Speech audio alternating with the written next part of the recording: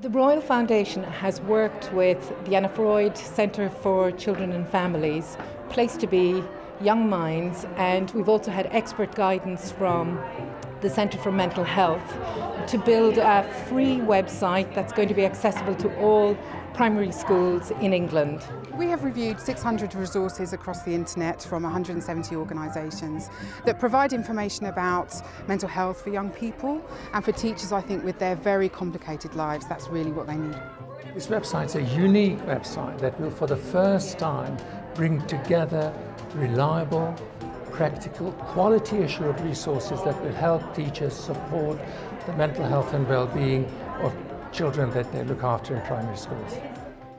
I've only got one word really to describe the site, the website that I saw this morning, that's wow.